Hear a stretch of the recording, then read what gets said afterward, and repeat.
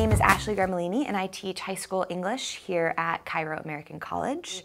CAC to me is a home and a family and a community. When the second I landed here in Cairo, I felt like there was always someone here that had my back.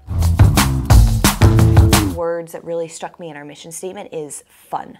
I've never had a school talk about fun in their mission statement, such as Spirit Week or intramural sports or dances and all sorts of a variety of offerings. We have a super robust MUN program. We have amazing sports.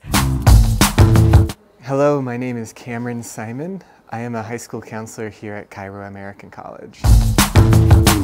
So, Stacy, my wife, was six months pregnant when we arrived, and our first task was looking for hospitals and doctors that would meet our needs.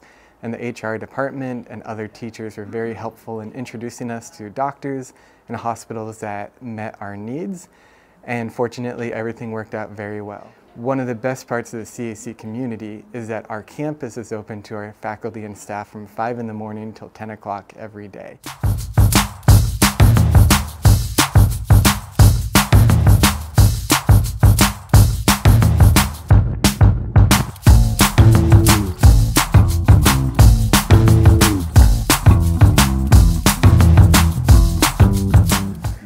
One of my first impressions moving to Maadi was how nice people are um, on the street. I think it was within a week of living here, we knew several of the Boabs, um, and they would always wave to us in the morning, and same with the shopkeepers, and just people in the streets are all very friendly.